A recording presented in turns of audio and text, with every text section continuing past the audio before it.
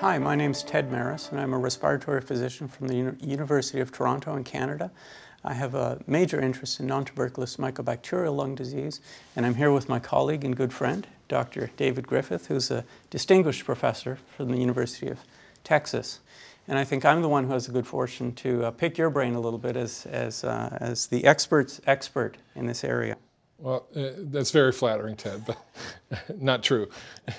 so I think that we all recognize, our colleagues all recognize that this is a very difficult disease to manage. Yeah, the treatment is challenging. People require multiple drugs for very long periods of time. And despite our best efforts, the outcomes aren't always what we would like them to be. Oh, absolutely. Our armamentarium for treating these diseases is very limited, there's no doubt. Probably the single most frustrating aspect of managing these patients is our limited choices of, of antimicrobials. Given that issue and given some of the recent um, new research that we've seen presented, can you tell me a little bit about what you think uh, are some important uh, new findings in the treatment of, of MAC lung disease, Mycobacterium avium lung disease? Yes, and I think there's actually some very exciting new data that's being presented. Uh, as you know, uh, a, major limitation of, of our ability to, uh, to have an evidence base for, for treating our patients is the lack of studies in the past that have been either placebo-controlled or, or randomized controlled trials. Most of what we do with MAC disease uh, is based on, uh, on case series, on large numbers of patients who have received uh, certain medications. And I think there's great value in that. But you know, it's also it's also quite a limitation, and it and it leaves open our practices to I think justifiable criticism. Well, um, in contradistinction, the, there has been uh, a recent large trial of an inhaled liposomal preparation of amikacin for treatment refractory MAC disease. It is a trial that uh, though not placebo controlled, uh, was uh, uh, randomized between patients who received the liposomal amikacin preparation plus standard therapy and those patients with standard therapy alone. And uh, as you know, uh, that is a very difficult population of patients to treat.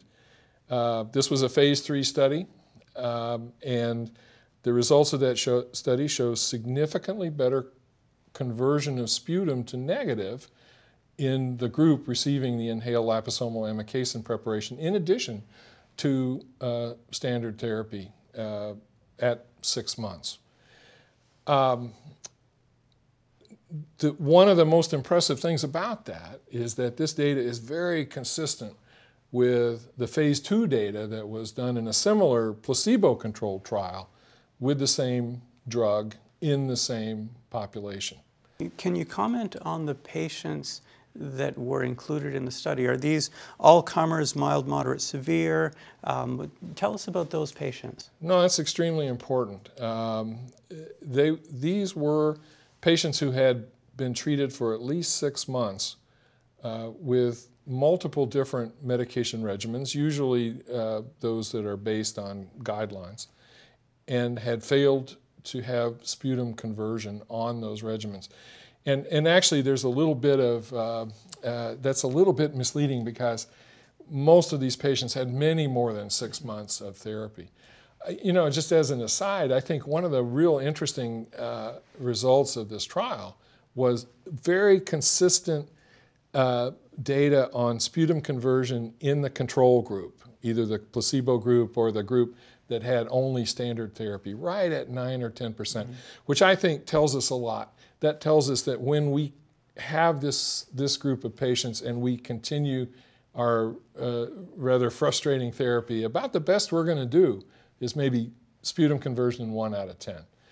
But just as consistent, and I think just as important from the phase two and the phase three trial, the sputum conversion rate was at 30% in those patients who received the inhaled liposomal amikacin. And, and you know, uh, just to put the, these results in context, there has never been a drug that has been FDA approved for treatment of MAC lung disease. Everything we do, as you know, is, off label. Um, and I think there is an extremely good chance that not only has this drug been tested in randomized controlled trials, two, with consistently good results, but it will be probably the first drug that the FDA approves for treatment of uh, MAC, MAC lung disease. That, that's obviously really exciting for me, for you, for our colleagues who deal with this disease, for our patients. Um, an increase from about 9% up 9 or 10% up to close to 30%, that's pretty amazing, pretty substantial. Um, so we will hopefully have another drug in an armamentarium that will work. Can we talk for a couple of minutes about how we do following guidelines to put drugs together and and how we should how we should manage these patients. You've done some work previously looking at how well physicians do or don't follow guidelines. Yes, and they don't follow guidelines is the bottom line.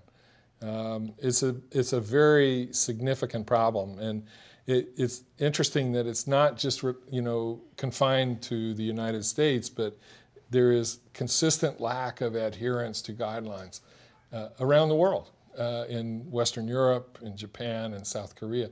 Uh, and actually, I understand that you, you have some interesting data uh, also that you've presented. That's right. That's right. We just presented uh, population-based data from Ontario where we were able to look at everyone in the province who had MAC lung disease and access prescription data for all of those patients.